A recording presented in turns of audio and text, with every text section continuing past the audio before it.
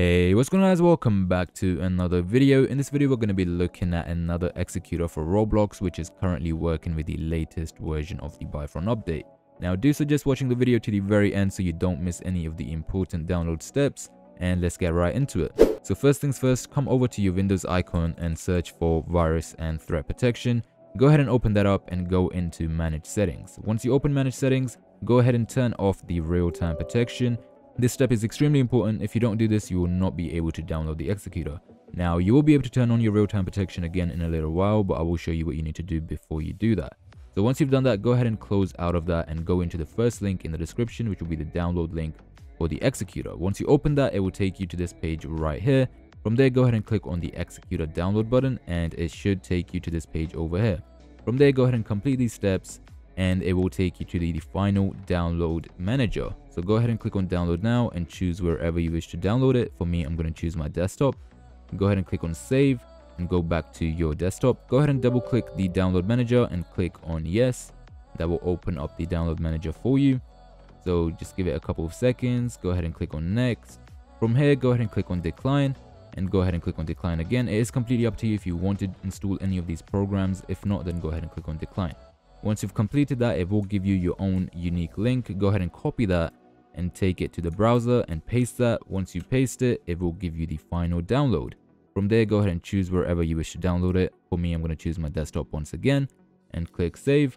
If it does show this message right here, go ahead and hold down control and press J. That will open up your downloads folder. From there, go ahead and click on keep file and click keep anyway. You don't have to worry about anything being dangerous. This is completely safe.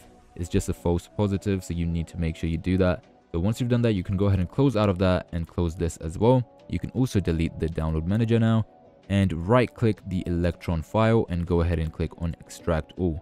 Once you click that, click on extract and that should create a new Electron folder for you. You can close out of that for now and you can now delete the zipped file from here.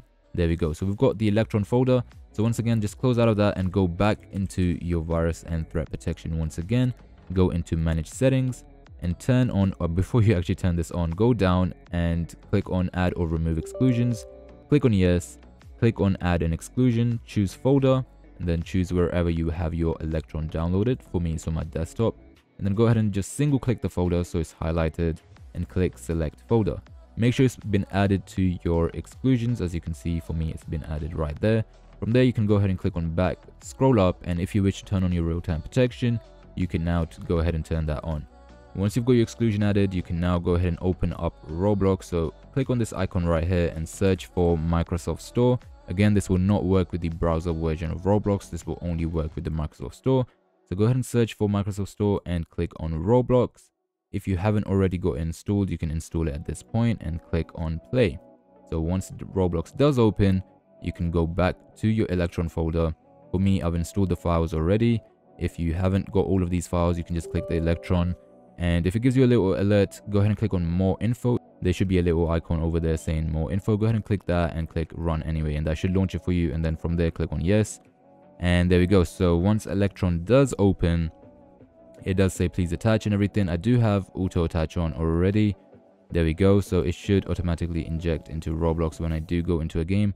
As you can see, it has already said connected because I am in Roblox. So at this point, you can pretty much go into any game and you can use any script of your choice. And that is pretty much how you download and use the executor. Now, if it's your first time using the executor, every 24 hours, you have to generate a key for Electron.